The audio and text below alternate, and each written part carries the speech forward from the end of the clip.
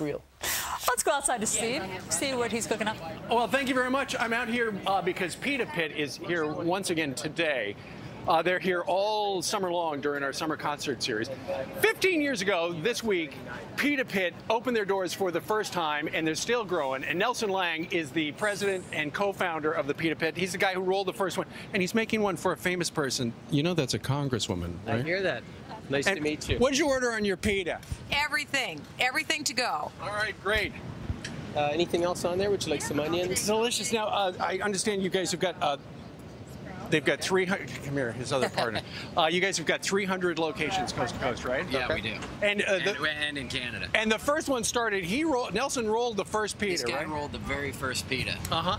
And this is one of the uh, fastest growing franchises across America, right? Yeah, it is, and uh, we, you know, we've been Entrepreneur Magazine, Inc. 500, uh, on a number of uh, hot watch lists right now. So And the thing is, uh, you got all this stuff for a regular pita, and they're making all this stuff. Uh, Steve, back up here.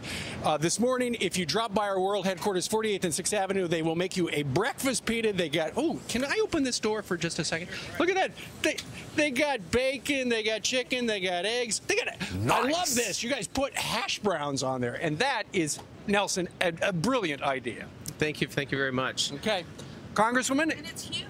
It is huge. Absolutely huge. All right, very good. Go ahead. Uh, shoot. do you want some bacon on that? I know you're. I do. Ben, we need- She likes to bring home the bacon. All right. Anyway, uh, Pita Pit here all summer long during our com- summer concert series. And Nelson, we thank you very much. All right. Thanks very much, Steve. Thanks all right. for having us. Indoor we go. Back to uh, Brian and Allie. All right, Steve, that looks great. 20 minutes before the top.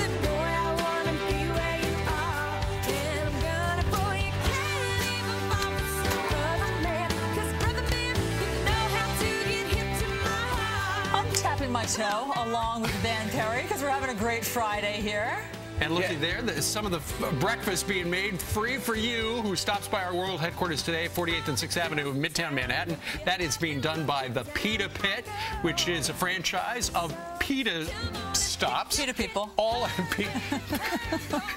all across America. Right, yeah, and by the way, you got to see the setup out there. I feel like I'm in a restaurant for, It's for nice. a brief moment. It's really You go out tasty. there and we're actually feeding people for free. And Stuart Varney just keeps on getting on the line again Uh-huh. and again. He goes, no, I just got here. He's changing outfits so, so he's not discovered. Outfits, costumes. It's brilliant.